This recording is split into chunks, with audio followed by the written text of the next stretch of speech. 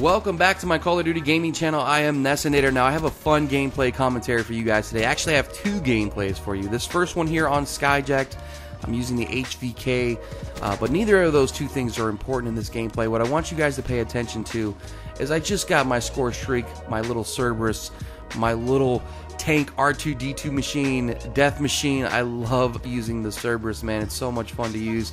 Now, some people out there like to just throw it out and let the AI control it and do its thing. And uh, I do that sometimes. Sometimes when I'm playing Domination, I'll just throw the little Cerberus out around B and let it do its thing. If I know the enemy team is, you know, pretty easy, newbie, I'll go ahead and uh, just keep playing and let the AI do its thing. But if the enemy team is competent and they're trying hard and I know these guys are good and I know they'll probably take out my Cerberus fairly quickly, what I'll do is I'll find me a little spot and I'll take manual control of my Cerberus and I just go all in on these guys. And on this map here, Skyjack, you guys will see me push the spawn with the little Cerberus machine and just go back there and have a blast and just go all in. It was so much fun.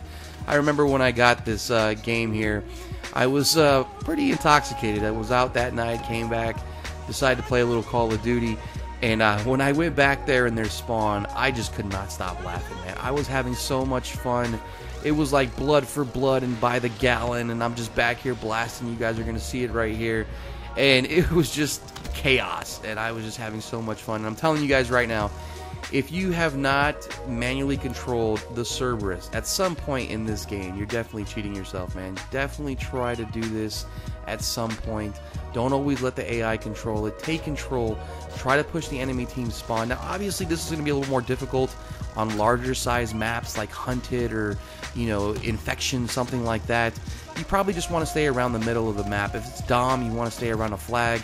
Uh, you know, in this situation right here, I think we're playing Safeguard, and I'm just going into their spawn.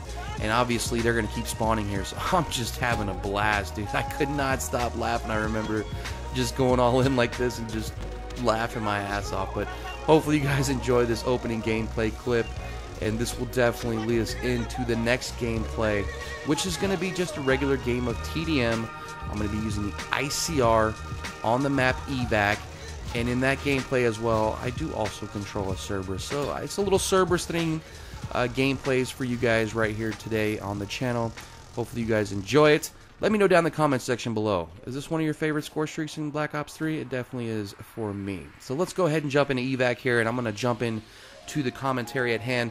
Now, for those of you guys that are unaware, I'm sure most of you know by now because it does start today.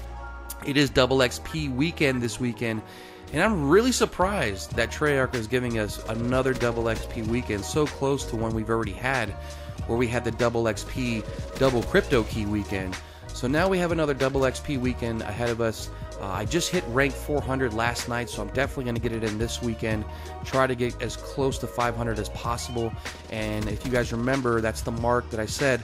I will be doing another stats video for you guys, letting you know where I'm at with calling cards, uh, as far as multiplayer completion and all that, uh, and all the good stuff about stats. You guys know all that. So I'm going to go into that when I hit level 500, and hopefully that will be soon, but it's going to take me a while, I'll tell you that. This, this is definitely a slow crawl to the top to get to a 1,000, but it's definitely worth it. We still have a lot of life left in Black Ops 3. The next Call of Duty doesn't drop till November, so hopefully, uh, you know, I'll be able to reach that 1,000 mark, but we will see.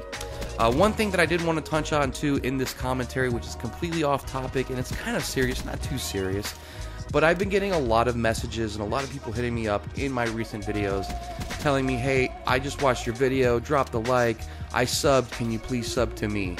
Now, here's a little tip and trick for you guys out there starting Call of Duty channels. And for most of the people that leave those type of messages, I do visit your channels. I do go to your channels to see if you're consistent, if you're actually a Call of Duty YouTuber, if you're even uh, as far as relevant with the times. Because if you're posting Black Ops 2 gameplay still, and that's all you post, I'm really not into that.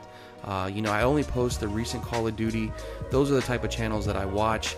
So, you know, if we're not even the same, I know I've another person had a FIFA channel, and I don't play FIFA, nor do I watch FIFA videos. So there really isn't no, you know, similarities there between our channels. But most of the people just do that are younger kids or people that don't know any better.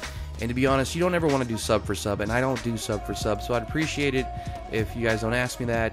You know, if you want to actually engage in some conversation or build a relationship here on YouTube with me, you know, visit my channel, leave comments. You know, I'll do the same if, I, if I'm into your content, and then from there, of course, I'll sub. But I never sub to someone just because they sub to me. Okay, so uh, no need to ask that. I did one of these videos in Advanced Warfare, and I think it's good that I address it here in Black Ops 3. I do not do sub for subs. I do not do likes for likes or anything like that, man. You like my content, you like it, leave a like, you know, sub, whatever. Uh, if you want me to check out your channel and let you know uh, what I think about any videos that you're uploading or anything like that or critiques, I'll do that. And you know, obviously, I'm not the end all when it comes to YouTube videos, but I'm more than happy to check someone's COD channel out and let them know what I think. So again, no sub for sub for me, guys. Okay, and that took up a little bit uh, more than I wanted it to. But anyways, last thing I want to talk about here in the closing is recently I heard there's going to be another patch that Vonderhaar is going to come out with, some more nerfs and buffs of weapons. And, um, you know, I knew he was going to probably buff the Vesper again. That's the big one that I heard, that he's going to have to buff the Vesper again because it's really broken. And I knew they were going to nerf it so much that it was going to end up being in need of another buff. So it's supposed to happen. We will see.